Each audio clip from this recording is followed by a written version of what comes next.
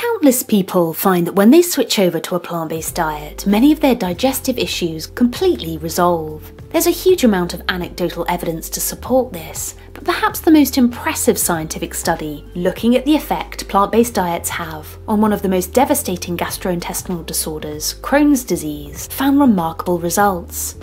The researchers found that after two years, 92% of the participants on the mostly plant based diet were symptom free, and the findings were described as, quote, the best result in relapse prevention. However, for some people, their gas, bloating, and digestive issues don't seem to improve on a plant based diet. So, in this video, we're going to explore this. Dr. Alan Desmond, a plant based gastroenterologist here in the UK, amongst other things, recommends we take a vegan omega 3 supplement. This is because many studies have shown that dietary omega 3 oils help to reduce intestinal inflammation and maintain good gut health. Short chain omega 3s, ALA, are found in flax, chia, hemp seeds, and walnuts. But for the long chain omega 3s, EPA and DHA, he says we should consider taking a daily algae supplement, aiming for at least 250 milligrams or more of EPA DHA per day.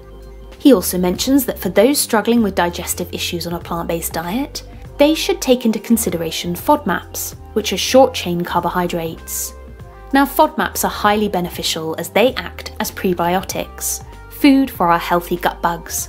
But a high intake of FODMAP rich foods can lead to excess fermentation, digestive gas, and bloating. For example, avocado, cauliflower, beans, garlic, and onions are high in FODMAPs. He says we don't need to eliminate these foods completely, but we can reduce our FODMAP intake and still maintain a healthy and diverse plant based diet.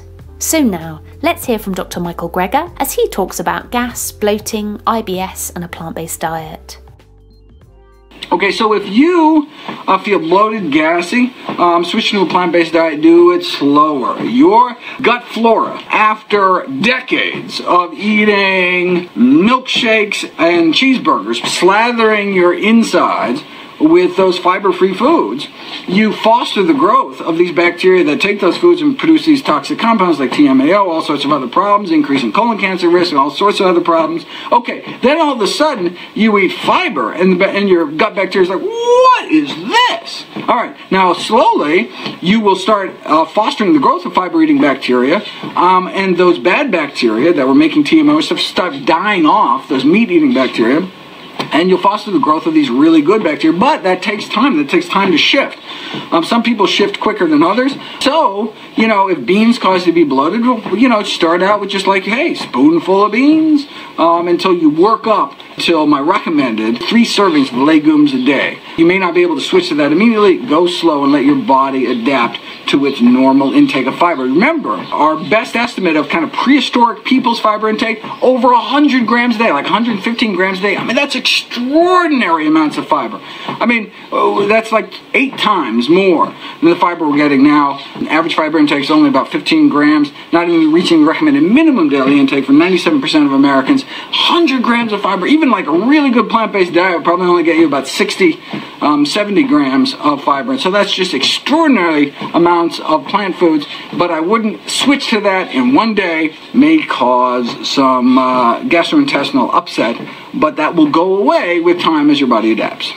Fiber is anti-inflammatory in the gut. IBS has been tied to what's called dysbiosis, which is an imbalance in good bacteria in your gut. What you want to do is foster the growth of good gut bugs. And what do those good gut bugs eat? What do they live off of? They live off of prebiotics. That's dietary fiber and resistant starch found concentrated in whole plant foods, particularly legumes, beans, split peas, chickpeas, lentils, or whole grains, particularly whole intact grains. That's the way we feed our good gut flora. No wonder it's so successful in uh, fighting uh, inflammatory bowel disease, ulcerative colitis, and can also help with IBS.